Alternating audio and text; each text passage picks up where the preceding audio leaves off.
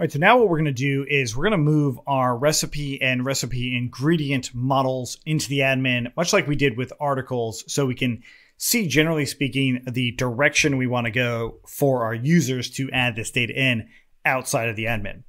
So inside the admin, let's go ahead and import these. We'll do from, from dot models. We're going to import each one of these like that. And then we'll just do admin dot site dot register of each one and copy and paste it. And there we go. Okay, so we save that. Let's make sure our server is running. Sure enough, it is. And we'll jump in to our admin here. And in my case, I actually already have a recipe. So feel free to add one. Uh, but what we see, of course, is our users here. Now, this isn't any different than the article. The user did show up here. So in the admin itself, I actually have the option to manage this data which is nice, but also not necessarily something I want, right? So I can actually make some changes to how I manage this data, very similar to the article admin, but I can actually add a whole nother feature in here. So I can say class and recipe admin takes in uh, admin.model admin. And of course, we could still do list display like we did before. And in this case, I want to have the name of the recipe and maybe the user. But I can also do something called read only fields, and I can pass in the user in there. I can also pass in the timestamp and the updated field here. And so now I'm going to go ahead and add these in, save it, and then we'll go ahead and take a look at the admin again. So now if I scroll down, I actually can't change the user related to this recipe. Now, in the long run, I actually don't want that in the admin. I just wanted to show you how cool it is. But now I can also see the timestamp and update it, which is nice. I can actually see what those values are. So let's get rid of that user inside of that read-only field. Now, before we go much further, the other part of this is the user itself. Now, if I had a million users, this drop-down thing would be ginormous. So what I can do instead is use something called a raw ID field or raw ID fields and pass in the user here. So this is actually a little bit more practical than a raw ID field. I refresh and now I can actually just look up the user by opening up a brand new tab, which definitely mirrors this right here. And that's really critical for managing users that are associated to any object. Like almost always, you should do this. So that also means that inside of our article admin, I should have that exact same thing, right? And I will leave that in there. So now the question is, how about this recipe? Well, let's go ahead and take a look at that in the admin now and click on it. Go to add a recipe. Notice we have this same problem. We have a drop down here of recipes and it just says recipe object one. Now there's a way to change that and make it a little bit more verbose, but this of course is a problem, right? So even if I had the name of it, there's a good chance that there's going to be more than one thing called grilled chicken tacos, right? um, especially if you have users that like tacos. There's going to be a lot of them that have that. So it's going to be hard to distinguish what the relationship should be to any given recipe. That's why I actually showed you the user one. That's really easy to distinguish because the usernames are going to be unique across your entire project. And it's also easy to look up the user and see if there's some need for an association. So what we need is something a little bit better. We need a better way to manage our recipe ingredients, at least inside the admin. And this is true even if it's just for our own website and we don't have like users at large adding things, but just us ourselves. And so what I want to do then is turn this not into a model admin, but into something called a tabular admin. So this is going to be recipe. Let's go ahead and just copy the model name and we'll call it recipe ingredient inline. It's admin tabular inline. And now I'll go ahead and declare the model itself, which in this case is the recipe ingredient. And inside of my model admin for the recipe, I'm going to go ahead and do inlines equals to that. And so let's get rid of the register call for the recipe ingredient and just use the tabular inline. I save everything and now I refresh in a recipe. Now I can see that the recipe ingredients are options in here. But notice that it's like way off to the side here. So tabular inline is great for a number of things, but perhaps not for this model. But what I can do is I can also say fields. So what are the fields that I'd want? Name, quantity, unit, and probably directions. So name and then quantity, unit, and directions. Okay, so we can save that and refresh, and you're like, okay, cool. It's still going off the page. It's still way too big.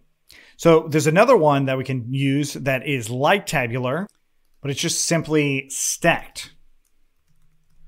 We save that, and now if I refresh in here, uh, it looks a lot better, right? So this is now a lot closer to something I might actually want on my ingredients.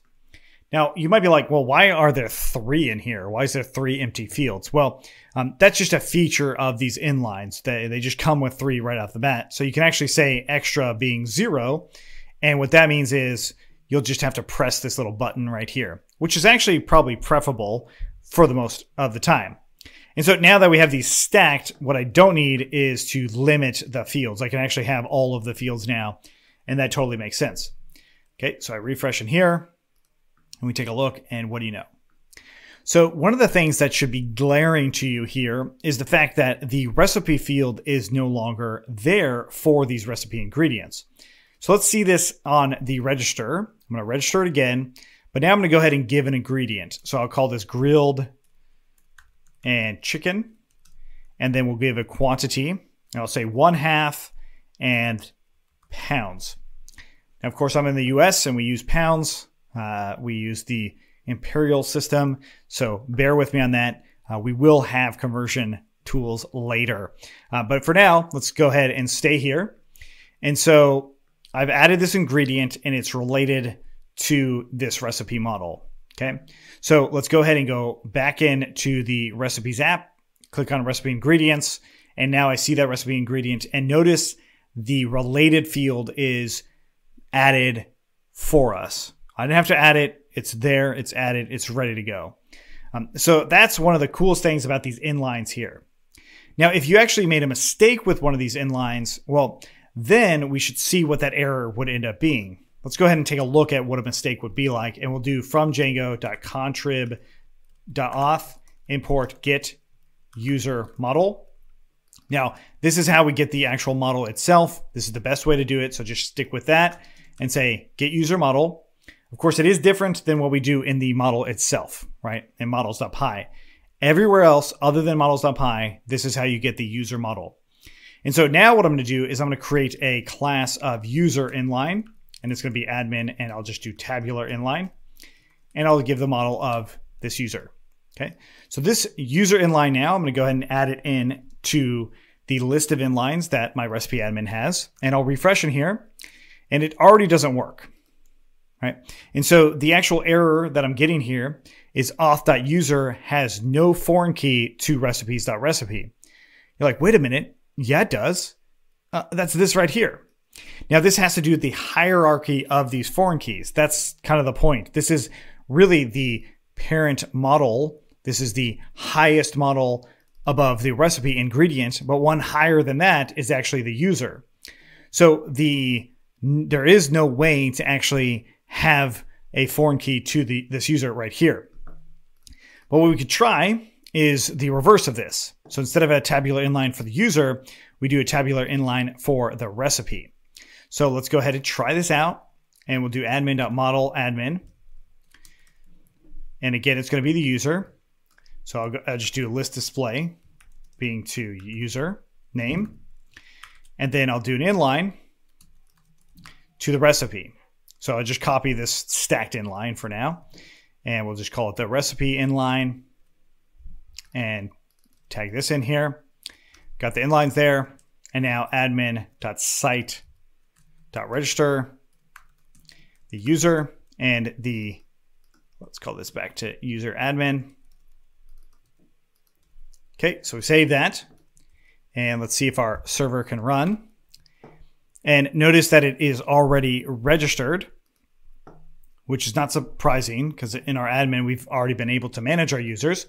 So inside of any admin.py, we can actually do admin.site.un register that user model. So I'm unregistering it up here and then re-registering it down here.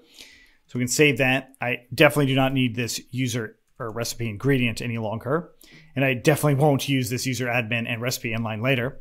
Uh, let's get rid of this user inline here. Okay, so let's save it and let's refresh here. Okay, so I now have a refreshed admin. So let's go into our admin. And notice the users is still in the same spot. But now if I click on it and click on any given user, if I scroll down, well, I should see recipes, but I'm not seeing recipes. I'm still seeing the actual um, uh, just just the user data, and so it should be in lines, not in line. So let's go and refresh. And if we scroll down, now I actually have recipes right on the user model itself. Now, I do not recommend overriding the user model in this way in the admin most of the time, right? There are times that you'll want to do it, um, but it's just nice to see that we can have this sort of hierarchy of models based off of these foreign keys. Now, this was meant to be an, a visual explanation for it. Now, what we need to do is actually see the code explanation for it by writing out some tests. So we'll actually write out unit tests for this um, to ensure two things. Number one, that it's working, but also two, that we understand this hierarchy of foreign keys. Uh, so back into the admin here, I actually do want to get rid of all of these things. I do not need them, and I do not think it's a great idea at this point. So refreshing in here, we're back to what I originally had uh, for the user admin. And then I have the just a single recipe admin now too with the data associated.